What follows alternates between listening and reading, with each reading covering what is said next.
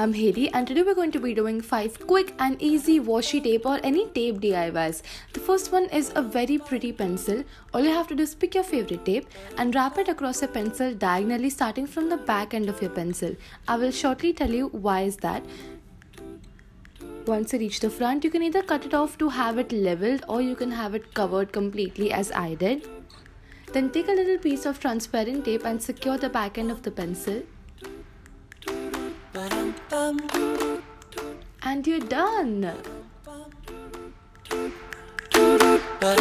Now we're going to make a blue gingham one because gingham is one of my favorite prints. Remember I asked you to start from the back end of your pencil and not the front? And that is so that you can unravel your pencil from the pretty tape sharpen it as much as you want and then you can stick it back. If needed, you can also cut the excess off. But for me, it was perfectly fine.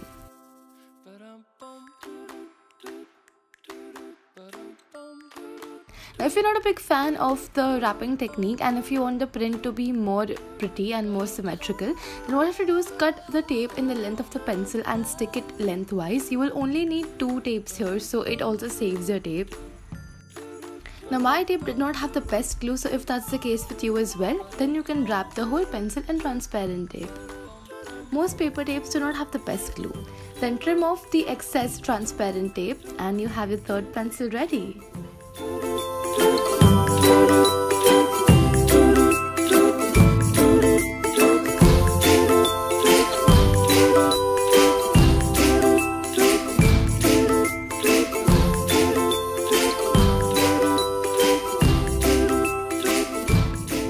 Here's our best out of waste project. We're going to be using an empty toilet roll and as many tapes as you want. Measure your toilet roll lengthwise and cut approximately 10 to 12 tapes if they are standard size tapes. I'm using these four colors. Then all you have to do is just stick the tape. I chose a vertical arrangement but you could also choose a horizontal one or you could use the same tape throughout. It really depends upon you. Once the main design is ready, we're then going to stick it on a piece of cardboard so that it has a solid base. I chose a little square at first.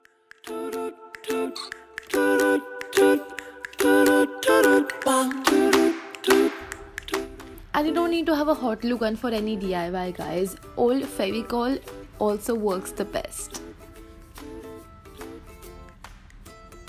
And once you've applied enough pressure and it's stuck you can then give the shape you want. I was first thinking of a flower but then i got too lazy so just cut in the shape of the toilet roll.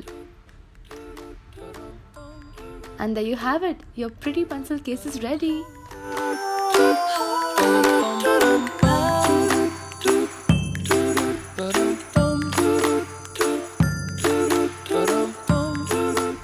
third DIY is hands down my favorite. All you need are some little clips and some tape. Measure the tape out, one face of the tape out, cut it, and automatically the other half will be your other side if you're using standard size tape just stick it on and you're done you will have the cutest little paper clips or you can even use these as bookmarks how pretty do they look compared to the normal ones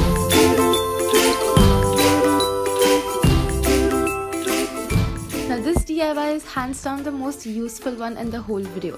What you have to do is take some tape and measure how long do you want your bookmark to be. After that I'm cutting 3 slits across the width of the tape because otherwise it's too thick to pass from the paper clip.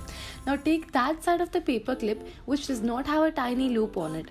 In other words, the side which is going to stay outside when you put a paper clip on a book or a paper and then pass a little piece of tape from it Stick it together, trim any excess or give it the shape you want on the end and then you will have your little bookmark ready.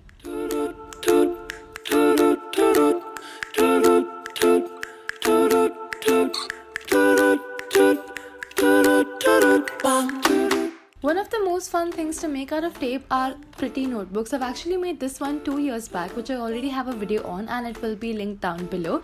And this was my quick and easy DIYs for you. If you recreate anything, make sure to tag me and put the hashtag DIY with Heli. I'll see you soon. Bye.